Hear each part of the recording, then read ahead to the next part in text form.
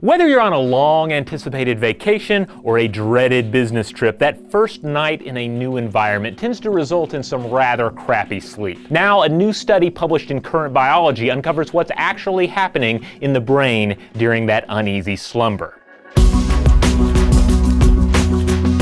A team of Brown University researchers set out to investigate the first night effect by pointing a whole array of brain monitoring devices at 35 volunteers during two nights of slumber. They discovered the brain essentially sleeps with one eye open during that first night, like Rambo clutching a knife, ready to wake and go all stabby should the bad guys show up. Specifically, the default mode network of the brain's left hemisphere remains more active during the first night slow wave phase. We're talking a network of brain regions here concerned with introspective egoic chatter about the past and the future. That worrisome, depressive, teeth gnashing voice that humans seek to silence through everything from exercise and meditation to psychedelic drug use and various flow state hobbies. That's the voice that won't quite shut up during that first night in a strange and uncertain bedroom. The volunteers didn't report any unusual discomfort or anxiety, however. I mean, they didn't conduct the experiment in a haunted house or anything. Rather, this increased activity just seems to be business as usual